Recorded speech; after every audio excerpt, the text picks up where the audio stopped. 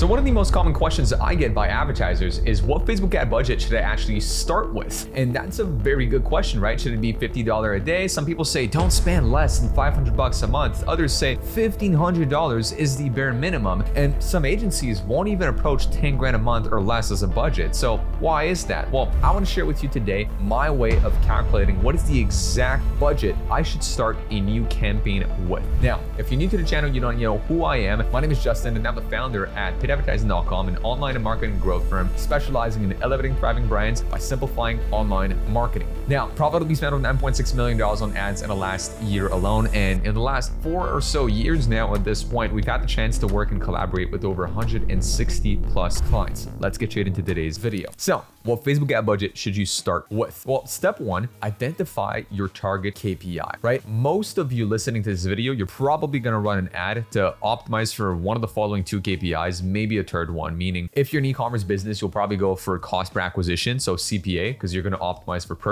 right? Or CAC, so customer acquisition cost, which, well, if you optimize for CAC, that's gonna be needing you to get a third-party tracking software like Triple Whale or Hyros. Same thing when it comes to leads as an example right here. Some of you you might be working in the, in the local business space or might be working with info products business and you'll want cost per lead. For others, it might be cost per appointment scheduled or cost per messenger conversation started. The point is identify what your target KPI is. Now, little tangent, what do you do if you don't know how to calculate that? Or how do you even calculate your target cost per lead? Or how do you even calculate your customer acquisition cost when it comes to e-commerce? Well, at the minimum, you can simply ask ChatGPT. Now, what metrics should I have on hand to calculate the following KPIs? Target cost per lead as a local business as an example, or target cost per acquisition as an e-commerce business. It'll give you some metrics. Honestly, there's other ways to also calculate target cost per lead. The ways that I typically calculate it is I need lifetime value of a customer, then I then need the closing rate, then I then need how many leads end up booking a call on average. And with that, I should have a pretty good idea of my target cost per lead to break even, but they're doing it right here, factoring in also desired profit margin. So as an example, they're going to tell you like revenue per lead is what you need. You need to get the lead conversion rate, so percentage of leads that convert into paying customers, your desired profit margin, the total operational cost of said business, and sales cycle length if relevant. And it gives you how to calculate target cost per lead, which if you're a marketer, you can sit down with your client to try and estimate each of these metrics. For an e-commerce business, you need average order value, so much more straightforward. Conversion rate of the website, pretty straightforward. Customer lifetime value, usually pretty straightforward too. Desired profit margin, pretty straightforward too. Operational cost, not as straightforward because a lot of businesses don't exactly know how much it's going to cost them to get or to, to sell like one product. So like you'll be surprised by the amount of businesses that don't know that selling one iPhone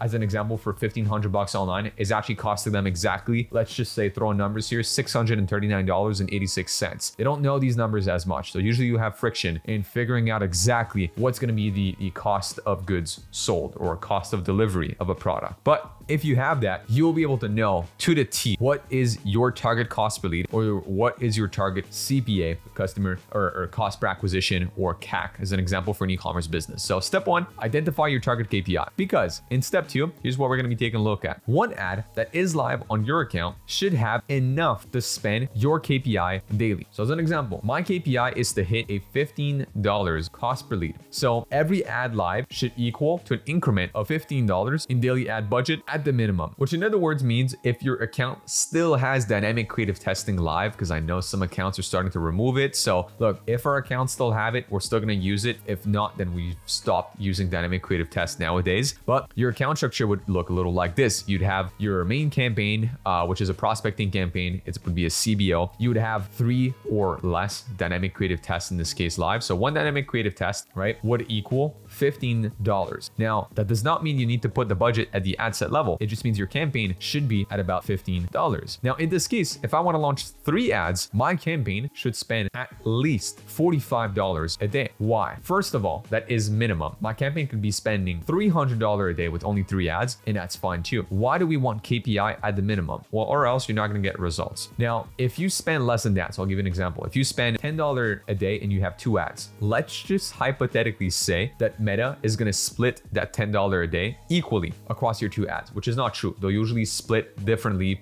especially if you're going to have a CBO. One ad might get 66%, the other ad might get 20%, and then this other ad might get like 10%, something like that. Well, if you had 10 bucks split across two ads, each is getting five bucks a day, you know that realistically you're going to get a lead for about $15. It's going to take you quite some time to know whether or not this works. It's going to take you minimum three days to know whether or not your ad has a fighting chance of succeeding. That's not that's not all, right? Because that is assuming the ad only needs to spend your KPI in order for it to get result, which is not true. Because if we go to step three, wait two to three days before making a decision. Why? You want each ad to have had the fighting chance at spending at least two to three times your target KPI. Again, why? If I kill an ad and it only spent $15, which is what I expect for it to cost me for a purchase or lead. Well, what if it spent 20 bucks and got me a sale as an example? Does that mean it's a bad ad? Well, arguably speaking, it's slightly out of KPI but maybe it's now to spend $25 and is to get a second sale. And now I got two sales and suddenly I'm profitable. So make sure that every ad has had the fighting chance at receiving enough ad spend for you to deem it a loser or a winner. And not only that, in the first few days of launching an ad. I just made a separate video on that in the last couple of days that was titled the following. So if I go to my channel and I show you this specific video, the key to better Facebook ad results is doing nothing. What I say in there is I've showed you examples of accounts of ours that every time we launch ads, no matter how good the ads are for the first few days, it's way out of KPI. And then after two to three days, suddenly would it be cost per lead or cost per acquisition slowly goes down to a good level. There's always some erratic uh, results from Facebook Facebook in the first few days. Always, always, always. So never judge an ad, no matter how much the ad spend is. Even if your target cost per lead is like $15, you just launched day one with a hundred bucks a day and you're like, man, it's been three hours. It spent 50 bucks. It's not getting me any leads so far. I need to kill it. Don't have a budget where you can at least wait two to three days after you launch the ad because again, it takes time for the algorithm to stabilize once you've launched an ad. Now, obviously I am confident in waiting two to three days before making an ad decision because I know that I have a strong creative process. Not to spend too much time here because it's not as much the point of the video, but each of my ad have had a thorough research done in the background. I know what my mass market desire is. I know what my product really is about and how I'm positioning its best feature or benefits to the public. I know who my persona is. I know the market awareness level that I'm targeting through that. I've written copy and an ad script that is contingent or that is congruent with these findings. And therefore, I know that this ad was well thought out. So I can leave it on for two to three days to know whether or not it's going to work. This is not going to mean that 100% of the ads I launch are going to work, but it might mean that now I know that 20 or 30 or 40% of an account's ads that I launch, typically based on my track record, has a high chance of succeeding, even knowing that metric, which I typically calculate internally. We call it a creative hit rate. Okay. I still leave an ad on for two to three days minimum. Could be longer depending on the ad spend that we have on this ad. Minimum two to three days before making a decision to one, give it enough ad spend. Number two, make sure that we've kind of passed this initial phase of an ad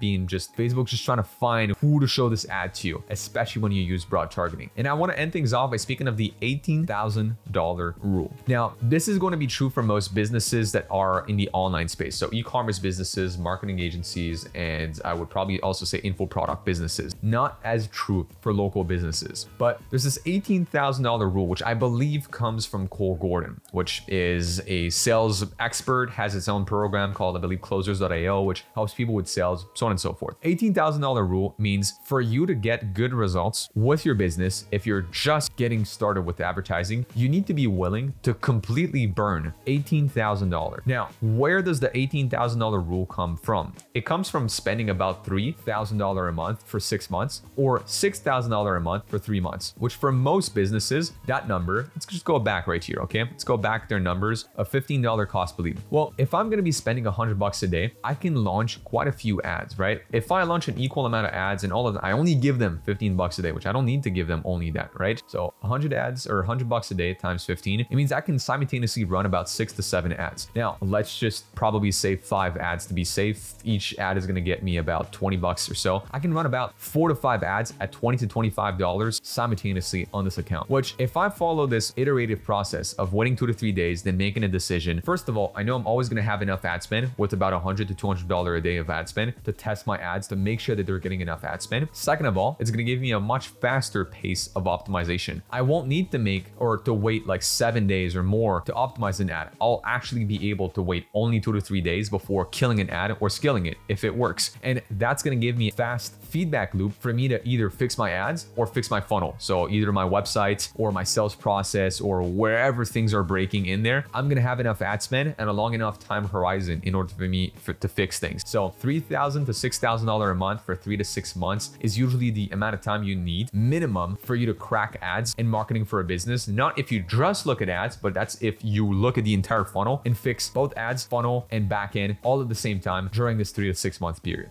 And so this answers the question of how much should you be spending or what budget should you have with your Facebook ads at the bare minimum to start. So with that being said, thank you so much for watching this video. If you made it all the way through and you are an e-commerce brand owner or an info product owner wanting to work with a paid ads partner on Meta, Google, and or TikTok, click the link down below to book a call with our team at paidadvertising.com today. And on that note, I'm going to invite you to check out other videos on the channel for some more useful marketing tips and I'll see you in the next one. Peace.